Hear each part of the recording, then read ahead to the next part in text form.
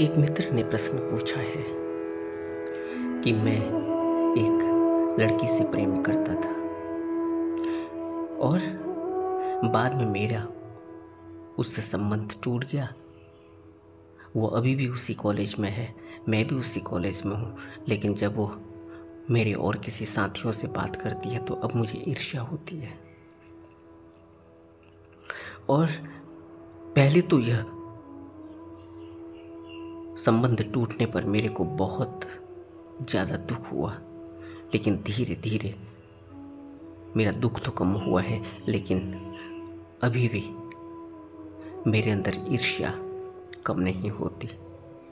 जब भी वो किसी और से बात करती है तो मैं, मेरे अंदर ईर्ष्या का भाव पैदा हो जाता है। मैं क्या करूँ?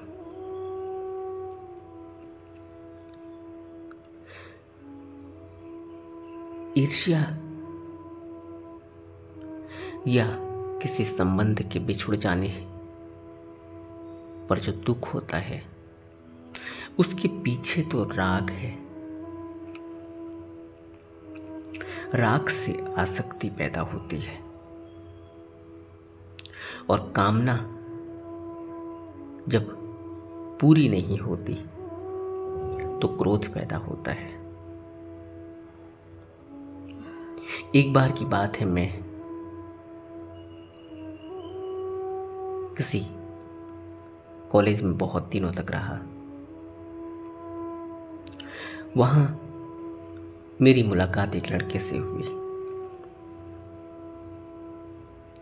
यूँ ही अचानक वो कभी मुझे मेरी कविताओं को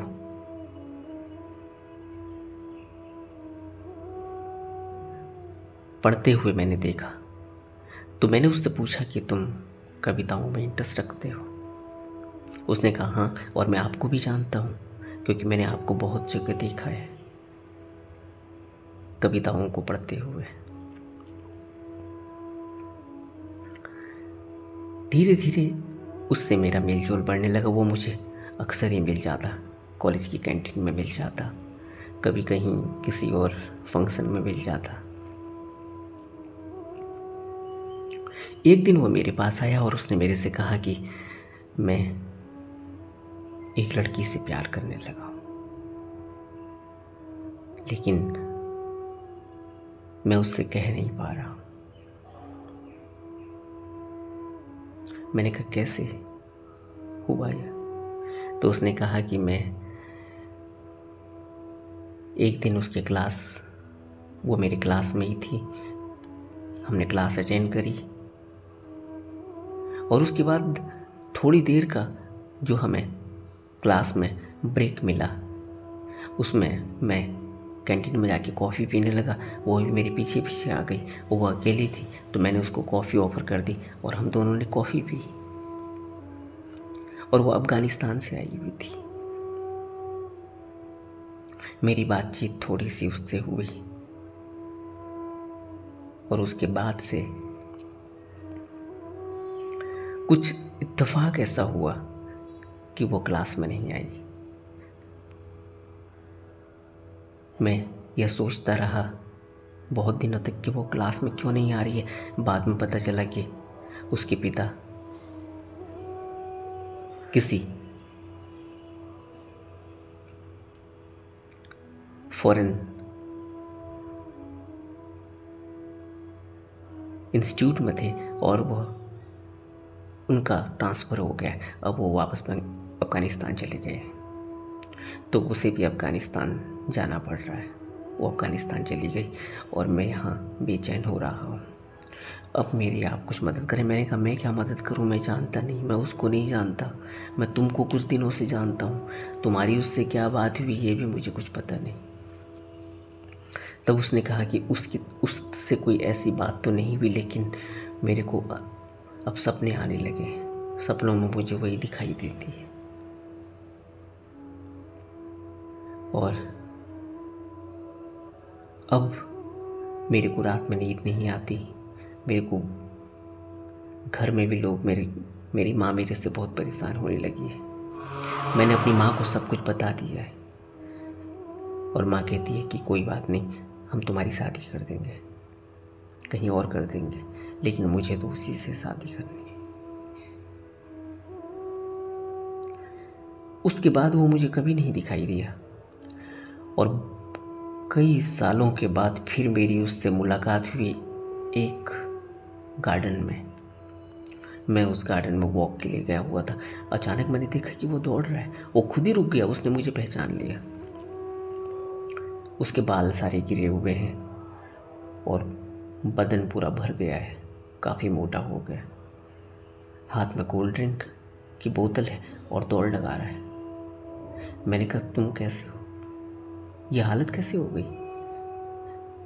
तो उसने पूरी कहानी बताई कि मैंने उसको जाने कहाँ कहाँ नहीं खोजा। मुझे अब पता चला है कि उसके फादर अमेरिका में है और वो अमेरिका में रहती है।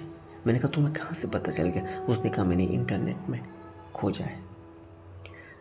अब यह बच्चा उस एक इंसिडेंट जो कि सिर्फ़ कॉफ़ी के साथ पी गई और सिर्फ़ इतनी सी बात की यह उसकी क्लास में क्लासमेट है। कोई ऐसा भाव उसकी तरफ़ से नहीं होगा। लेकिन इसने अंदर ही अंदर सपने संजो लिए। ये अंदर ही अंदर राग पैदा हो गया। और इस राग का इसको पता नहीं क्योंकि इसको राग के बारे में तो कोई जानकारी ही नहीं है। इसने खुद ही। मंसूबे खुद ही इसने, सपने बुने हैं, खुद ही इसने अपनी तरफ़ से एक फिक्सन बनाया है, एक फेक स्टोरी बनाई हुई है। एक तरफा प्यार। और अब इसकी ये स्थिति हो गई है कि इसको नींद नहीं आती, ये गोली खाकर सोता है। घर में माँ है, परेशान है, बाप है, परेशान है। बाप के दुबई में रहता है, कहता है, तुम तुम दुबई आ जाओ, या दुबई जाने को तैयार नहीं। माँ को इसने परेशान कर रखा है। खुद ही परेशान है। कहता है, मैं सुबह से लेकर शाम तक मैंने एक साइकिल खरीदी हुई उस साइकिल में साइकिलिंग करते रहता हूँ। दिन में, दोपहर की गर्मी में पैंतालीस पचास डिग्री टेम्परेचर में यह दिल्ली में साइकिलिंग कर रहा है। कोल्ड ड्रिंक पी रहा है, सिगरेट पी रहा है। पहले सिगरेट नहीं पीता था, अब सिगरेट पीनी शुरू कर दी। बाल पूरे गिर गए हैं। कारण क्या है? कारण है कि आदमी बाहर की तरफ़ देख रहा है, उसे अपनी तरफ़ कुछ दिखाई नहीं दे रहा है। वह अपने मन को नहीं देख रहा है। वह अपने अंदर जो भाव और विचार उठे हैं, जो फेक स्टोरी बनी है, जो फिक्सन हुआ है, उसको नहीं देख रहा है। वह इतनी बुरी तरह से प्रभावित हो चुका है। एक इंसिडेंट से, जो कि एक इत्तेफाक था, पहला इत्तेफाक कि वो कैंटीन में कॉफ़ी पी रहा था और वो आ गई। उस अकेले थी, इसके साथ बैठ गई, इसने ऑफ़र किया कॉफ़ी पी ली। मना न कर पाई होगी, इस वजह से पी ली। या उसके वहाँ इस तरह का कल्चर होगा कि कोई ऑफ़र करे तो मना नहीं कर सकते। डायरेक्ट हमारे वहाँ तो थोड़ा सा झिझक होती भी है। या वो उसने बहुत ही लाइट ले लिया होगा। कोई इतना सीरियस बात नहीं थी। ठीक है क्लास का ही स्टूडेंट है। लेकिन इसके अंदर राग पैदा हो गया। यह अब उस राग को नहीं देख पा रहा है और इस राग की वजह से कितना दुख इसने पैदा कर दिया है अपनी ज़िंदगी में। शरीर बुरी तरह से खराब हो चुका है। मानसिक स्थिति यह हो चुकी है कि मन इतना बेचैन है कि रात में नींद तक नहीं आती। अब आप अंदाज़ा लगा सकते हैं। कहता है कि मैंने साइकेटिस्ट को दिखा दिया। कहता है कि मैंने काउंसलिंग करा ली। कहता है कि मैंने एनएलपी प्रोग्राम ज्वाइन किया। न्यूरो लिंग्विस्टिक प्रोग्रामिंग एनएलपी की क्लासेस ली, उसमें कई हज़ार रुपए खर्च किए। लेकिन उसके बावजूद भी, सब कुछ करने के बावजूद भी वह घटना को वो भूल नहीं पाता। और अपने अंदर जो उसने एक सपना बुना था, उस सपने को वो अब तोड़ नहीं पाता। अब वो इंटरनेट पर खोजता है कि वो अमेरिका में कहाँ होगी। कहाँ कहाँ से वो जानकारी इकट्ठी कर रहा है और क्यों कर रहा है? उस जानकारी को इकट्ठी करके अब होगा क्या? इस तरह से मन प्रभावित हो जाता है। कारण? बुद्ध एक मनोवैज्ञानिक हैं और सीधी सी बात मनुष्य को बताते हैं कि राग से यह सब होता है। राग से ही क्रोध पैदा होता है। राग से ही लोभ पैदा होता है राग से ही मोह पैदा होता है। यह सब राग है। अगर राग से वस्तु पाली गई तो लोभ और तो मोह पैदा होगा। अगर राग से वस्तु नहीं पाई गई तो क्रोध पैदा होगा। अगर कामना पूरी हो जाती है तो बार बार पाने की इच्छा, उसे लोभ जगता है। और अगर पूरी नहीं हुई तो क्रोध पैदा होता है। इस प्रकार और जब पूरी हो गई तो उसके बिछुड़ने की प्रवृत्ति से मोह पैदा होता है। राग या आसक्ति एक बहुत ही बुरी चीज़ है मनुष्य के लिए, जिससे उसकी, उसका पूरा जीवन पूरा जीवन नरक बन जाता है। लेकिन यह राग या आसक्ति ऐसा नहीं है कि किसी को जगती है और किसी को नहीं जगती सबको जगती है। क्योंकि इंद्रियाँ और इंद्रियों के द्वारा मन बाहर जाता है। इंद्रियाँ चक्षु विज्ञान बुद्ध कहते थे कि चक्षु विज्ञान से जब मानसिक पटल पर मानस पटल पर प्रतिबिंब बनता है। तो उस प्रतिबिंब से वेदना उठती है और उस वेदना पर को अगर उसका पीछा किया गया, अगर उस वेदना को नहीं देखा गया, अगर उस वेदना का पीछा किया गया और उस वेदना के साथ साथ चल चले गए तो फिर बहुत ही ज़्यादा गहराई में मनुष्य घुस जाता है। और उस वेदना के साथ साथ वो एक ऐसे भावचक्र में फंस जाता है। जैसे यह कहानी अभी बताई गई देखा ही नहीं गया। वेदना तो उठी थी। राग उठा था आसक्ति हुई थी। चक्षु विज्ञान ने कुछ आँखें देखी होंगी, नाक नक्श देखे होंगे। बोलने का तरीका देखा होगा, कुछ और भावनाएँ देखी होंगी। वो सब अंदर पटल पर प्रतिबिंबित हो गया। प्रतिबिंब बन गया और उस प्रतिबिंब को फिर बार बार उसका अवलोकन करना, बार बार उस प्रतिबिंब के साथ जीना, बार बार उस छाया के साथ जीना, उस छाया के साथ रहना और उस छाया के साथ जीते जीते एक कहानी बना देना। यही तो करता है इंसान। और इसके दुष्परिणाम क्या होते हैं उसे पता ही नहीं चलता कि वो कब कितने बुरी तरह से बहुचक्र में फंस गया। कितनी बुरी तरह से एक भंवर में फंस चुका है। अब उस भंवर से अगर कोई हाथ न दे, कोई सहारा न दे, कोई हाथ ही पकड़ कर ऊपर न खींच ले, तब तक निकला नहीं जा सकता। इसीलिए तो गुरु की ज़रूरत है, इसीलिए तो बुद्ध की ज़रूरत है, इसीलिए तो सत्पुरुष चाहिए, इसीलिए तो सदगुरु चाहिए। और मनुष्य के लिए यह बहुत आसान है कि वह इस तरह के राग, काम, क्रोध, मोह, लोभ, ईर्ष्या द्वेष में फंस जाए, बहुत आसान है, क्योंकि हर एक दूसरे के साथ जुड़ी हुई है।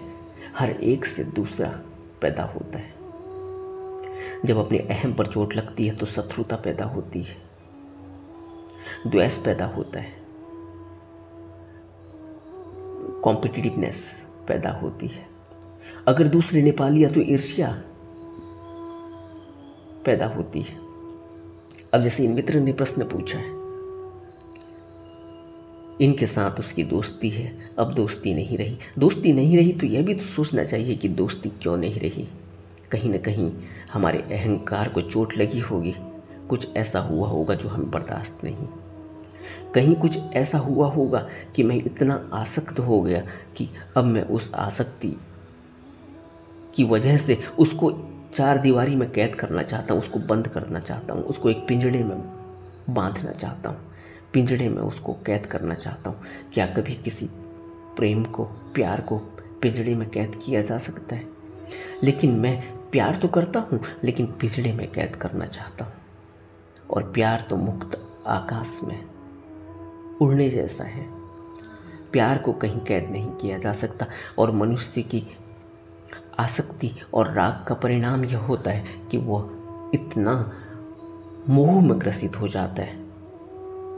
इतना आसक्त हो जाता है कि वो फिर सोचता है कि ये सांस भी ले तो मेरे से पूछ कर ले। और यह हो नहीं सकता। ऐसा नहीं है कि अगर हमने किसी से प्यार किया है, अभी हम किसी बंधन में नहीं हैं तो वह अपनी ज़िंदगी जिए और हम अपनी ज़िंदगी, हम मिलें ज़रूर, लेकिन फिर भी दूर दूर रहें। ऐसा नहीं है। अगर हम एक भी हो जाएँ मान लिया जाए हमने शादी भी कर ली, हम एक साथ भी रहने लगे।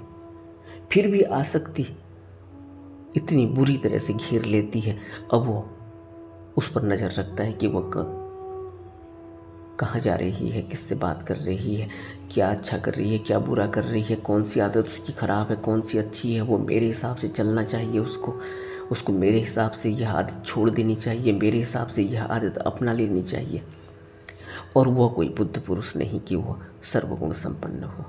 उसकी सब आदतें वैसी हैं, लेकिन वह चाहता है कि मैं जिसको चाहता हूँ, उसकी सब आदतें ऐसी हो जाए जैसे मैं चाहता हूँ। वह ऐसी हो जाए वह ऐसा हो जाए जैसे मैं चाहता हूँ। और यह होता नहीं। न तो आदमी ऐसा कर पाता, न औरत ऐसा कर पाती।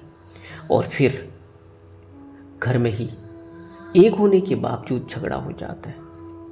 और फिर या तो ज़िंदगी वैसी ही घसीट घसीट कर जीता है आदमी, और या फिर ब्रेकअप हो जाता है, तलाक हो जाता है, कुछ और हो जाता है।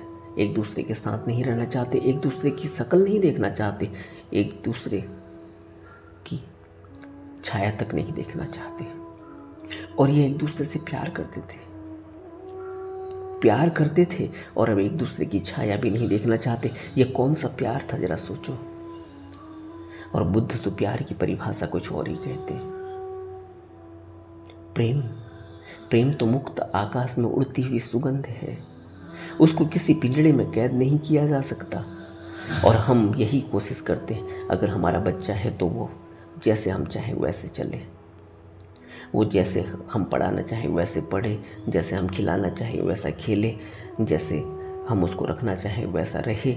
जो हम आदत डालना चाहें वो उसकी आदत हो, और जो हम आदत न डालना चाहें वो उसकी आदत ना हो। ऐसा हो नहीं सकता। वो कोई कठपुतली नहीं है। वह कठपुतली नहीं है। उसके अंदर भी प्राण है, उसके अंदर भी मन है, और उसका मन उसके ही हिसाब से चलेगा। और इसी वजह से जीवन में इतना दुख पैदा हो जाता है। और इस दुख से कभी भी खत्म नहीं होने वाला यह दुख नरक का कारण बन जाता है। और मनुष्य की बुद्धि इतनी बुरी तरह ग्रसित हो जाती है कि उसकी सोचने समझने की क्षमता ही बर्बाद हो जाती है। वह सोच समझ ही नहीं पाता। वो बुरी तरह से आहत हो जाता है। उसको अब कुछ भी सोचता नहीं वो कुछ भी विचार नहीं कर पाता। उसकी विचार की क्षमता ही खत्म हो जाती है। उसका विवेक पूरी तरह से बंद हो जाता है, उसकी प्रज्ञा पूरी तरह से बंद हो जाती है। उसकी बुद्धि पूरी तरह से बंद हो जाती है, उसको कुछ भी सोचता नहीं। उसके दिलो दिमाग में इतना कसाव हो जाता है, उसका मन, उसका सर इतना भारी हो जाता है कि उसके बाद उसके अंदर कुछ सूझता ही नहीं, उसकी तर्क की क्षमता ही खत्म हो जाती है। और ऐसा व्यक्ति फिर अपने जीवन में अगर प्रयत्न भी करे तो कहीं ना कहीं यह जो ग्रुप्स लगे हैं या जो घाव लगे हैं, यह उसका पीछा करते हैं। इसलिए तो जो परवरिश है बच्चों की, इसलिए तो मनुष्य जब जवान होता है तो उसको बहुत ही फूक फूक कर अपना कदम रखना चाहिए। कहीं भी अगर कोई इस तरह की खरोंच लग गई, इस तरह का कोई निशान लग गया इस तरह की कोई वेदनाएँ सहन करनी पड़ गई तो फिर इसके परिणाम बहुत ज़्यादा मन पर पड़ते हैं। ऐसा नहीं है, वक्त आते आते सब भर जाता है। अब जैसे इन मित्र ने प्रश्न किया है कि वक्त के साथ साथ अब उस दुख से मैं बाहर तो आ गया हूँ, लेकिन अभी भी ईर्ष्या पैदा होती है जब वो किसी और से बात करती है। क्यों ईर्ष्या पैदा होती है? इससे यह पता चलता है कि अभी भी राग बचा हुआ है। राग से ही ईर्ष्या पैदा होती है, क्योंकि अगर राग है, आसक्ति है, और अगर वह पूरी ना हो, और किस, किसी और की पूरी हो जाए तो ईर्ष्या पैदा होती है। और अगर राग, आसक्ति पूरी न हो तो क्रोध पैदा होता है। क्रोध ईर्ष्या में बदल जाता है। किसी और के साथ देखने से ईर्ष्या, और अगर अपने साथ न हो, अगर अपने मन जैसा न हो कुछ तो फिर क्रोध। और ऐसी स्थिति पैदा हो जाती है कि मनुष्य एक ऐसी ड्यूअलिटी में आ जाता है कि इस ड्यूअलिटी से बाहर निकलेगा कैसे? इसकी ड्यूअलिटी से बाहर निकलने का समाधान बुद्ध देते हैं। बुद्ध कहते हैं कि इन सबको अपने जीवन में देखो, अपने राग को पहचानो, अपने अंदर मन में लगा हुआ राग, अपने अंदर मन में लगी हुई आसक्ति, अपने अंदर मन में उठ रही तृष्णाओं को देखो। ये तृष्णा क्यों है? अगर मुझे ऐसा है कि मैं किसी के साथ फ्रेंडशिप करना चाहता हूँ, मेरे अंदर यह आसक्ति अगर है तो मेरे अंदर फिर निभाने की क्षमता भी होनी चाहिए। फिर मुझे यह भी स्वीकार करना होगा कि यह आसक्ति मेरे अंदर है तो इस आसक्ति को मैं निभा भी पाऊँ। उसको स्वीकार करने की क्षमता भी होनी चाहिए। उसको जैसा वो है, उसको वैसे ही स्वीकार कर लो। वो हम कर नहीं पाते। हम अपने टर्म्स एंड कंडीशन पर स्वीकार करेंगे। और अपने टर्म्स एंड कंडीशन पर हम अपने को नहीं चला पाते। ज़रा सोचो, कितनी बार हम कोशिश करते हैं सुबह उठने की, हम उठ नहीं पाते। कितनी बार हम कोशिश करते हैं कि हम एग्ज़ाम में अच्छी परफॉर्म करेंगे, हम कर नहीं पाते। और कितनी बार हम कोशिश करते हैं कि हम अपना व्यवहार अच्छा रखेंगे लोगों के बीच में, लेकिन हम रख रख नहीं पाते। कितनी बार हम कोशिश करते हैं कि हम गुस्सा नहीं करेंगे। अच्छा भी, अच्छी हमारी अच्छा हमारा एटीट्यूड होगा। हम कर नहीं पाते। कितनी बार ऐसा होता है कि हम जो चाहते हैं वो कर नहीं पाते, हम प्रतिज्ञा भी लेते हैं, प्रण करते हैं, फिर भी हम निभा नहीं पाते। क्यों? इसलिए क्योंकि हम खुद ही नाकामयाब हो जाते हैं। हमारे अंदर वह दृढ़ संकल्प नहीं है, क्योंकि प्रज्ञा का एक भाग है दृढ़ संकल्प। दृढ़ संकल्प ऐसा नहीं, दृढ़ संकल्प का अर्थ ही यही है कि कहीं ना कहीं प्रज्ञा जग गई है। और अगर दृढ़ संकल्प नहीं है, हम बार बार अपनी ही गलती, अपने ही कहे हुए पर नहीं चल पाते और हम दूसरे को अपने चला, अपनी तरह से चलाना चाहते हैं। यह कितना बड़ा विरोधाभास है हमारी ज़िंदगी में कि हम अपने को तो अपनी तरह से नहीं चलाना, चला पाते, लेकिन हम दूसरे को अपनी तरह से चला, चलाना चाहते हैं। तो इससे अगर हमारे जीवन में दुख पैदा नहीं होगा तो सोचो किसके जीवन में दुख पैदा होगा? हम अपने ही जीवन में दुख पैदा नहीं करते, हम उसके जीवन में भी दुख पैदा कर देते हैं जो हमसे जुड़ जाता है। हमें सोचना होगा, ठीक है, कोई भी यहाँ पूरा नहीं, हम भी पूरे नहीं, दूसरा भी पूरा नहीं, लेकिन हम जैसे हैं, हमें उसको भी स्वीकार करना चाहिए, और जो जैसा दूसरा है, उसको वैसे ही स्वीकार करना चाहिए, तब कहीं हम निभा पाएँगे। अब हम आधे अधूरे हैं और हम चाहते हैं कि दूसरा व्यक्ति पूरा हो। दूसरा व्यक्ति पूरा हो और हम आधे अधूरे हों, हम आधे अधूरे में भी उसके पूरेपन को स्वीकार कर लेंगे, नहीं कर पाएँगे। अगर वो पूरा है, तब और हम आधे हैं, तब भी हम उसकी तरह नहीं हो पाएँगे। बुद्ध पूर्ण पुरुष थे और बुद्ध जब हमारे बीच में होते हैं तो हम स्वीकार नहीं कर पाते। क्योंकि बुद्ध के जीवन जीने का तरीका बिल्कुल अलग है। वो हमें बर्दाश्त नहीं होता। बुद्ध महल में भी वैसे ही रहते हैं और बुद्ध जंगल में भी वैसे ही रहते हैं, क्योंकि वो पूर्ण पुरुष है। हम महल में भी दुखी हैं, हम जंगल में भी दुखी हैं, हम में कोई फ़र्क नहीं। बुद्ध महल में भी सुखी हैं और बुद्ध जंगल में भी सुखी हैं। कोई फ़र्क नहीं। लेकिन हमारी स्थिति बिल्कुल उल्टी है। हम महल में भी दुखी हैं। हम जंगल में भी दुखी हैं।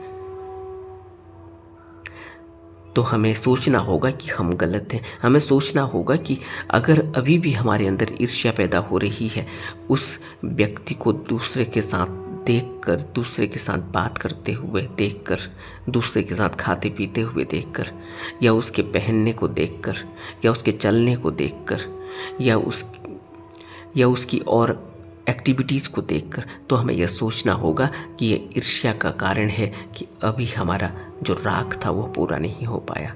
अभी हम उस राग से आहत तो हुए हैं, लेकिन अभी भी हमने कुछ सीखा नहीं।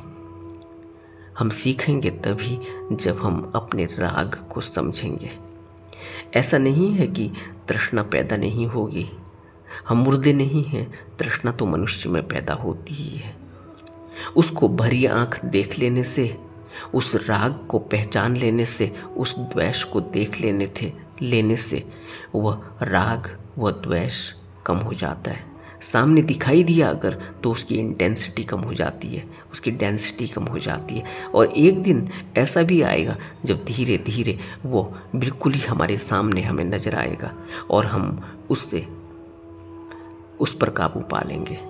लेकिन यह होगा तभी जब हम विपश्यना को गहरे में करेंगे। अभी हम जो विपश्यना करते हैं, आनापान समृद्धि करते हैं, उसमें भी हमारा मन सदा नहीं है। हमारी स्थिरता बहुत कम है। अगर हमारी स्थिरता होती तो फिर ज़रूर हम देख तो पाए कि हम आहत हुए हैं। हम देख तो पाए कि हमारा ब्रेकअप हुआ। हम देख तो पाए। लेकिन उस ब्रेकअप में हमें खुशी होनी चाहिए थी कि मैं उसको नहीं समझा पाया। या वो मेरे मन को समझ नहीं पाई या वो मेरे व्यक्तित्व को नहीं समझ पाई। मेरा व्यक्तित्व और उसके व्यक्तित्व बहुत अंतर है तो कोई बात नहीं, हम अलग हो गए। लेकिन हमें अलग होने से ईर्ष्या नहीं हो अगर हमें ब्रेकअप ही हो गया ब्रेकअप हमने, अगर हमने ही उसमें पहल की है तो फिर ईर्ष्या का कोई कारण नहीं हो जाता। इससे यह पता चलता है कि वो ब्रेकअप भी, में भी हम कहीं ना कहीं, हम कहीं ना कहीं स्वीकार नहीं किए गए। हम कहीं ना कहीं उसने हमें उस, अपने उस जैसा वो व्यक्तित्व था, उस व्यक्तित्व पर हम खरे नहीं उतरे।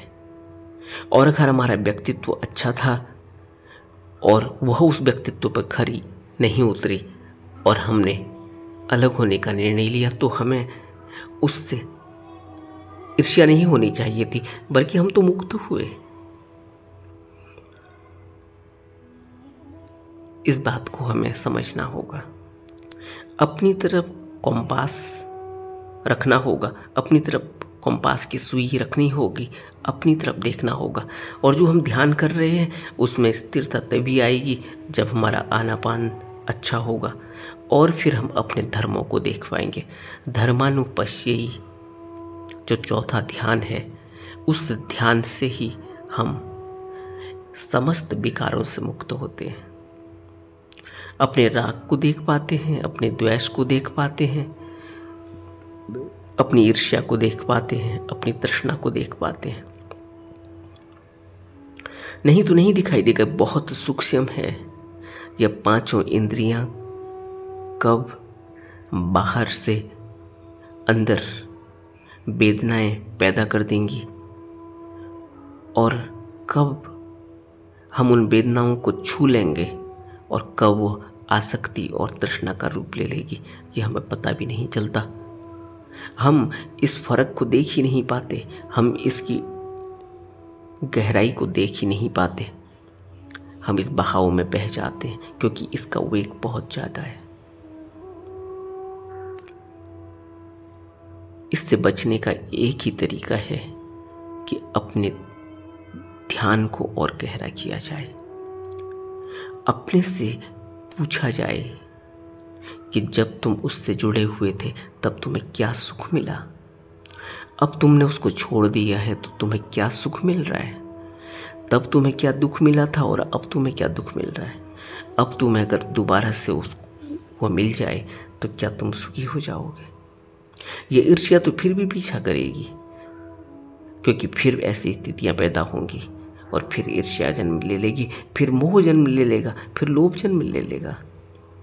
और कुछ और कुछ और, कुछ नया लोभ पैदा होता है। या कहीं चली न जाए, मोह पैदा होता है। और अगर चली गई तो फिर ईर्ष्या पैदा होती है कि अब देखते हैं किसी और के पास कैसे क्या करेगी, कैसे क्या नहीं करेगी, कैसे क्या करेगा, क्या नहीं करेगा, कहाँ जाएगा?